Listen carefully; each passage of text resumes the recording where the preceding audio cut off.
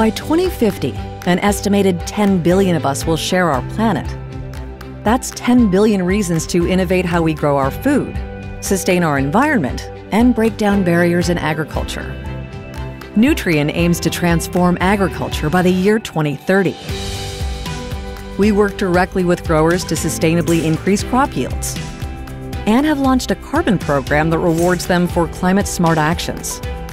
For every ton of product we produce, we will aim to reduce greenhouse gas emissions by 30%. Plus, we'll invest in new technology to support the transition to low carbon fertilizers.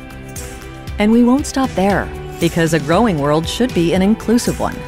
That's why we will use technology partnerships to drive grower innovation and inclusion, and offer bold new financing tools to deliver a future where every grower has the capital needed to grow. Six bold commitments to 10 billion people. Feeding the future has never felt more promising.